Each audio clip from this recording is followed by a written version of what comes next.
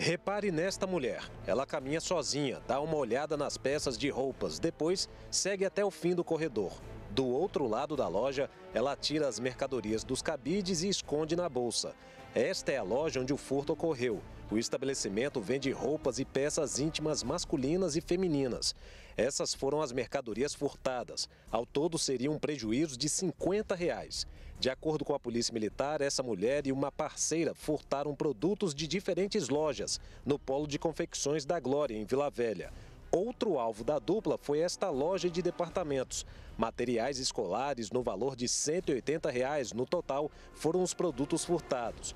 Na rota do crime, este comércio com artigos de decoração para festas também foi visitado pelas mulheres. Neste estabelecimento, elas levaram três potes de pasta de avelã de 650 gramas cada. O que as falsas clientes não esperavam é que o passeio pelo comércio da Glória não terminaria bem para elas.